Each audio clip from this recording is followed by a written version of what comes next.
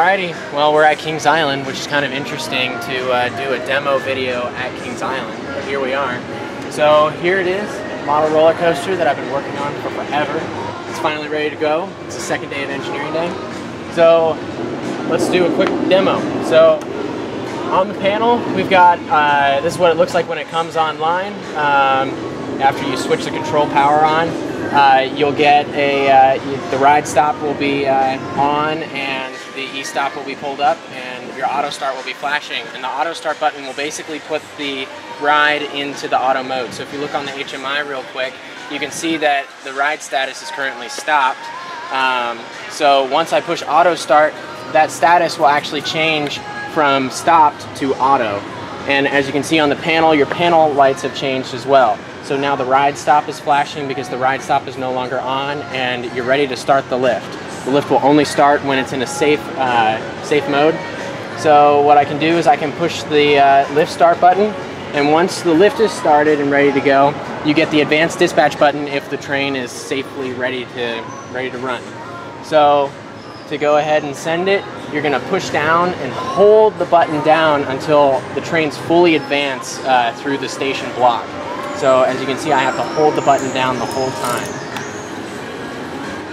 and then the lift automatically does it all by itself. The cool thing about the lift hill is that it's a, uh, a cable lift system similar to uh, Millennium Force at Cedar Point. So it has a full catch car that runs up and down the lift hill. So as you can see, you can see the catch car returning back down. And I can't send the train right now because the uh, catch car is not back. All right, so now we'll send it again. But this time, I'm not going to advance that train off the readies block. So the point of this thing is to kind of demo what a block system is.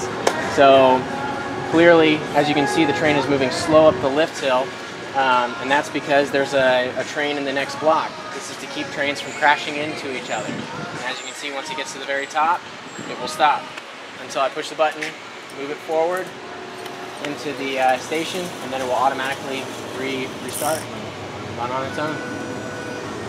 So there's some couple other features because this I went all out on programming this thing.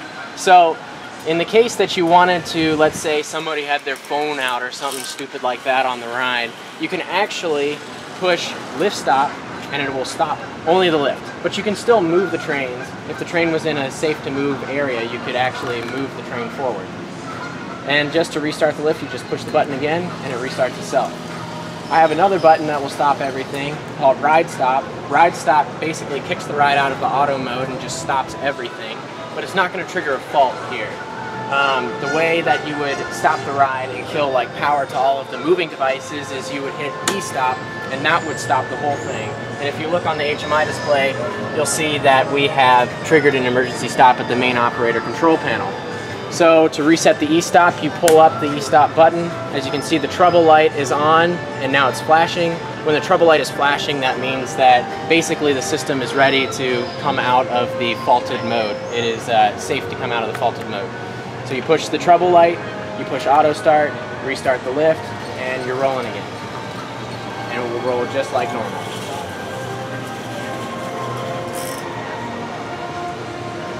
So there are some other faults programmed into the ride because roller coasters are safe because they have all of these faults programmed in. So when you are on a ride and it stops for whatever reason, it's because something went wrong and the system detected that something was wrong.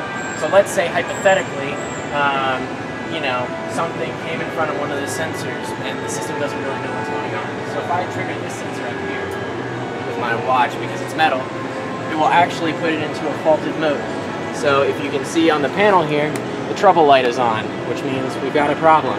And now that we go over to the HMI display, we're on the maintenance screen, um, we can see that we have a lift parking fault. And you can see the, the fault right here. And um, the way you reset it is you turn this for two seconds to switch the ride into manual mode, and then just simply hit reset, just like that. And then we can switch the ride out of manual and as you can see, the trouble light has started flashing again to, you know, tell the uh, operator that the system is ready to come out of the faulted mode. You can click on that, auto start, restart lift, and you're back and running again. Now the thing about um, those faults is that it really doesn't matter um, if the train is running up the hill. You know, if I fault that sensor right there, it's going to stop everything. I can't do anything anymore, right? Same thing again. We can see that I triggered the lifts, the, the station parking fault that time, um, and I can just reset it just like this. One more time, and and there we go. And just like that, we are back and ready to run again. I can just advance that train forward, and it will move just like normal. So there are many different screens to the HMI itself. You've seen the maintenance display for resetting faults and whatnot. But, you know, the operator would probably normally have it in the uh, operations mode. So this is uh, a general overview screen of what the track looks like. So we have our ready brakes, which is where the far train is right now. Uh, we have the station block, which is where the train is sitting in the station. And as you can see, each one of these squares represents a, uh, a sensor. So if the sensors are yellow, that means the sensor has been flagged. Um, so there's a train in the station right now. There's a train on the main and ready brakes. The lift hill here is currently not occupied, so you see nothing is wrong there. Alrighty, so just to show a cycle as it goes around, you can see all of the uh, sensors turning on and off. So see, it's crossed through the uh, lift engage check sensor. And it's about to clear the top of the lift hill. There it goes.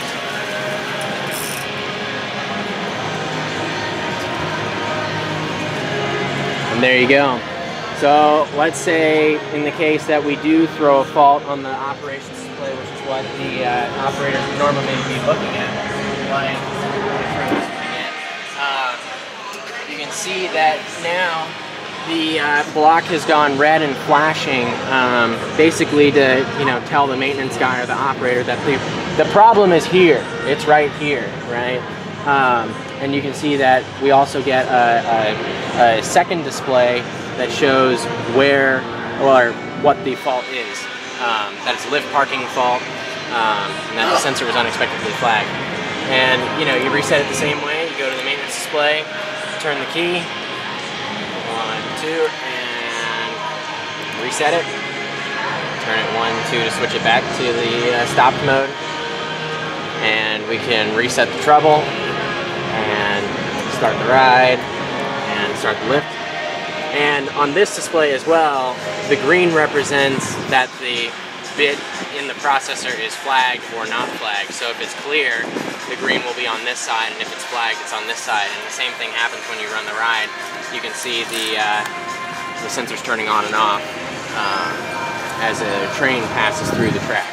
And the maintenance display is laid out so that you know you have a station block, a lift block, and a readies block, um, and all the sensors are grouped in order from the beginning of the block to the end of the block.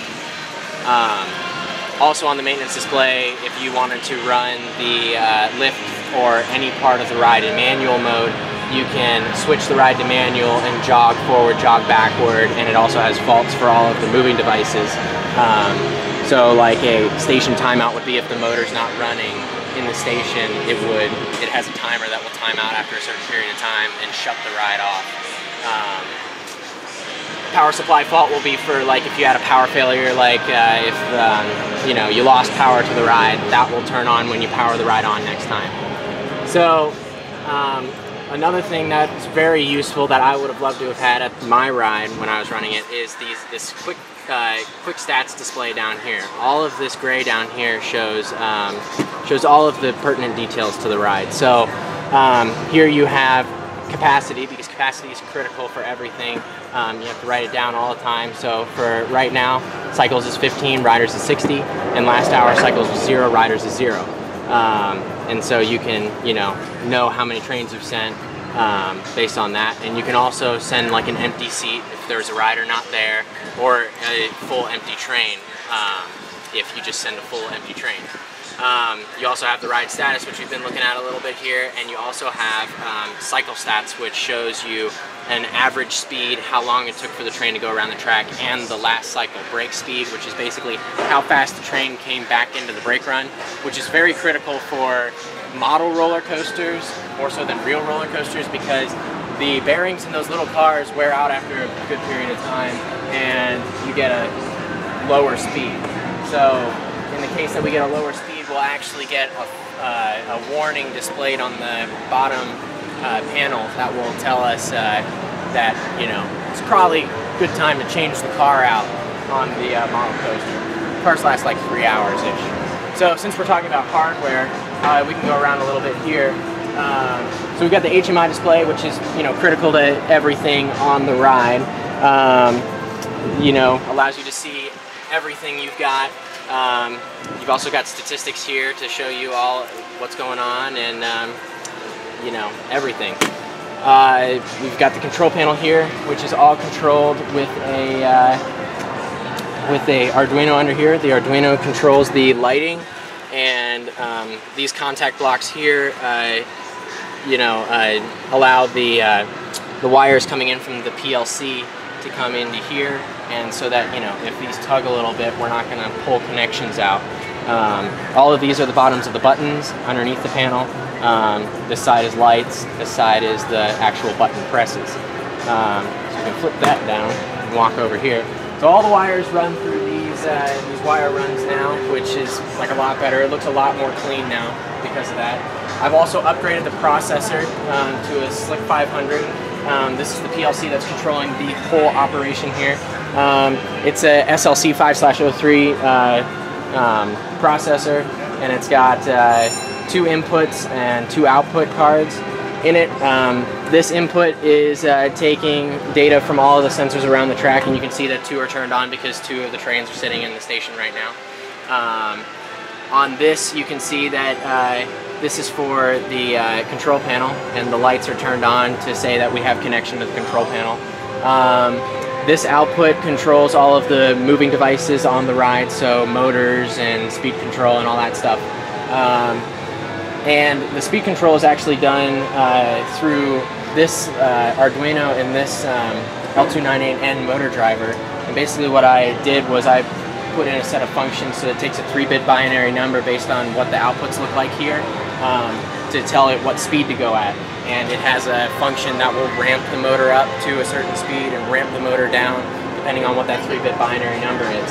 Um, also, uh, in the case, we have a uh, an output for all of the lights on the control panel. So this output uh, basically uh, one zero is for um, on and the next zero is for pulsing. So if the e-stop is on, the light will be on. If the second uh, bit for the e-stop is on, then it'll be pulsing on the control panel.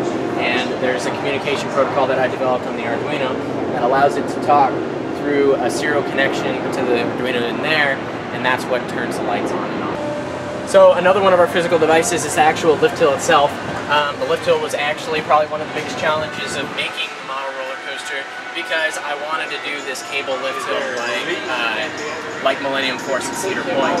Um, so the lift I had to completely design in um, a computer-aided design program. So you can actually see the full lift hill, you know, in the computer-aided design. I split it up into these uh, parts that I could print out and uh, bolt together on site. So um, I printed the whole thing over probably the period of about a month and uh, it works quite nicely.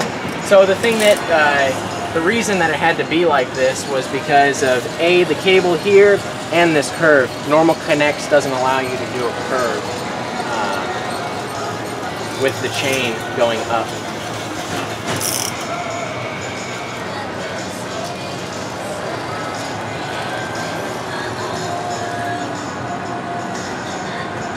You can see on this side the uh, lift is winding up and on this side it's letting out string.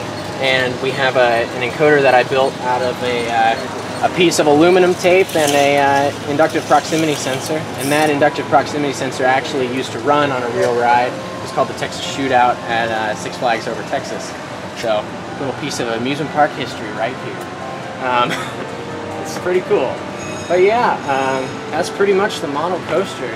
Um, to sum it all up.